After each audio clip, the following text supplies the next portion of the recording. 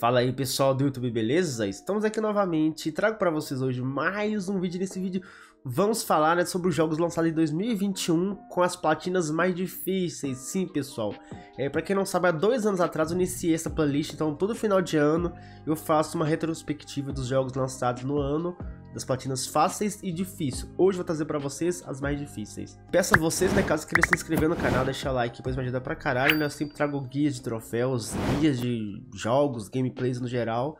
E convido vocês a conhecer um pouco meu canal, caso não seja inscrito, né? Se for inscrito, deixa o like e bora pro vídeo.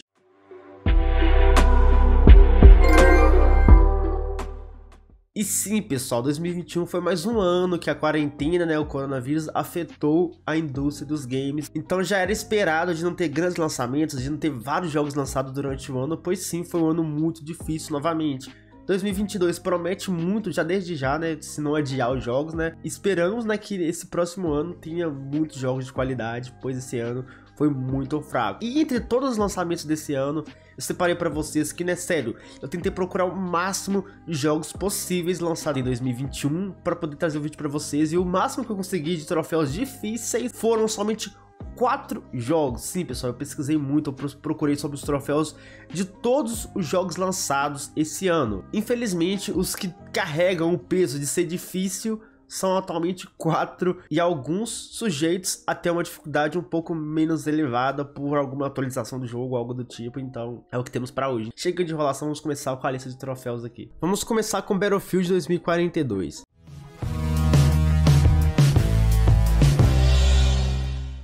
Alcançar a platina, gasta entre 50 e 60 horas em média, dependendo muito da habilidade, pois o jogo é totalmente online. No geral, a lista de troféus do jogo não é muito difícil, pois a maioria dos troféus podem ser obtidas de maneira contra bots, em partidas contra IA. Com exceção das maestrias que não é possível mais ser obtido em partidas contra bots, sendo assim, tendo que jogar partidas em grandes escalas multiplayer para alcançar as maestrias de personagem, de veículos, de armas e de gadgets ou arremessáveis. A platina do jogo, pessoal, nem é muito difícil no geral. O chato mesmo é o grande farm para alcançar as maestrias. Vou dar exemplo para você de maestria de personagem. Um personagem o mais rápido possível de se farmar é um médico, no caso a Falk. Para vocês poderem alcançar a maestria, você tem que curar com a pistola da Falk, né, a pistola dela que cura a longo alcance, ou reviver aliados com a Falk 2.400 vezes. Sim, é muita coisa, não é difícil, mas demora pra um caralho pra alcançar esses números. Vamos agora de Returnal.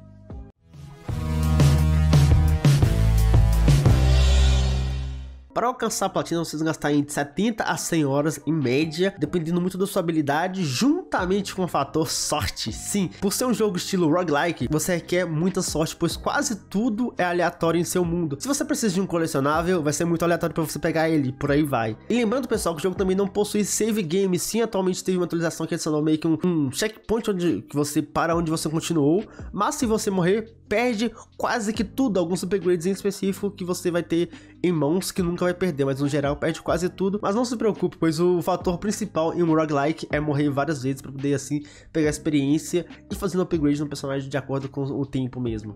Vamos agora de Audio World Soulstorm.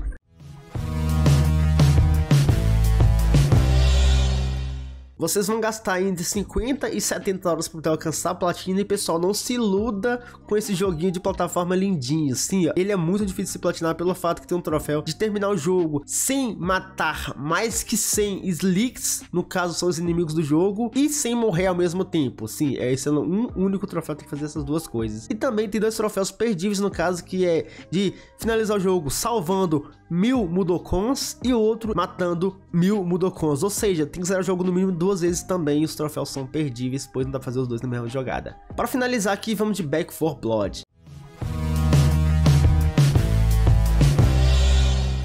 Pessoal, para alcançar a platina do Back 4 Blood, vocês vão gastar no mínimo 100 horas, certo? No mínimo. E lembrando que você pode fazer boost para poder facilitar e acelerar esse processo. O feito mais difícil do jogo, no caso, é terminar o jogo na dificuldade Nightmare, que no caso é o pesadelo. Mas para alcançar esse efeito, você tem que jogar muitas horas mesmo para poder farmar os decks, que no caso são as cartinhas lá que te dão vantagem no jogo. Então você pode adquirir as cartas de acordo com o seu estilo de gameplay, pois sim, tem muitas cartas que adapta em qualquer qualquer estilo de gameplay que você deseja ter. E assim, você pode personalizar suas partidas lá, né? Cada, cada ato com umas cartas diferentes para poder assim alcançar o seu objetivo da maneira mais rápida e fácil possível, mas mesmo assim vai ser muito demorado e requer uma equipe completa que tenha noção de jogo. E não podia faltar ele, né? Eu queria deixar aqui a minha menção honrosa ao Kena Bridge of Spirit. Para quem não sabe, ele venceu o melhor jogo indie do ano. Meus parabéns aos envolvidos né, na criação do jogo.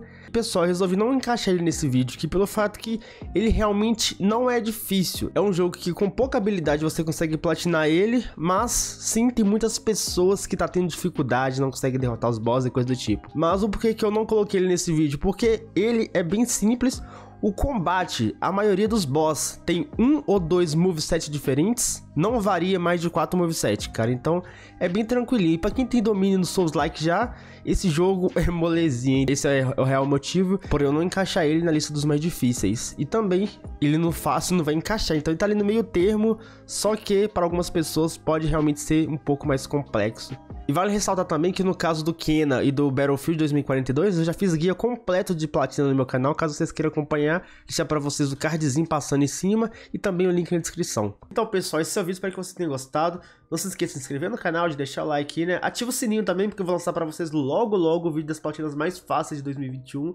Então, não perca tempo, né? Sem que lançar o vídeo, já corre já vem assistir para vocês ficarem por dentro, né? Caso queiram buscar algumas dessas platinas, salvamos. Valeu, falou, fui até